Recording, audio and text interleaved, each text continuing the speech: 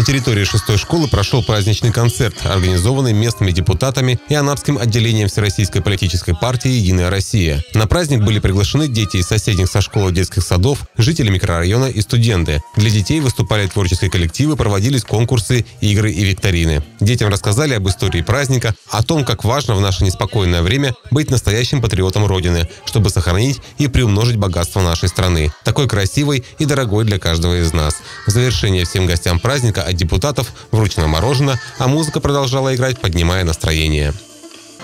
замечательное мероприятие.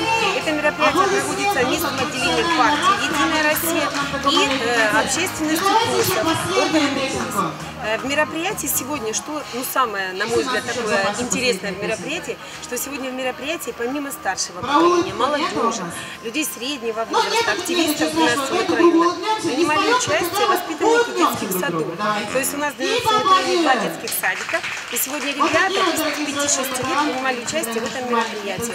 На мой взгляд, это очень правильно, грамотно, это воспитание нашей молодежи, наших детей. Поэтому в целом мероприятие получилось очень хорошее.